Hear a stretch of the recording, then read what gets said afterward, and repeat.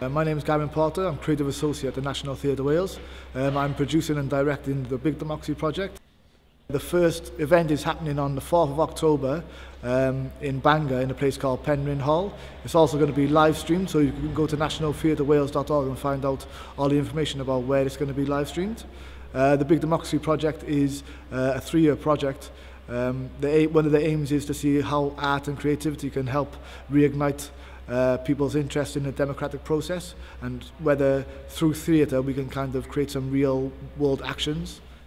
A poet from Bethesda called Martin Daws, he put the idea forward about um, looking at uh, voter apathy, but through poetry. Uh, and that was the one that was, that was chosen here in Bangor. So today is our first day of rehearsals. So we've been working together with the team to try and find out a kind of uh, what people's thoughts are on the issue and how they're going to respond as artists.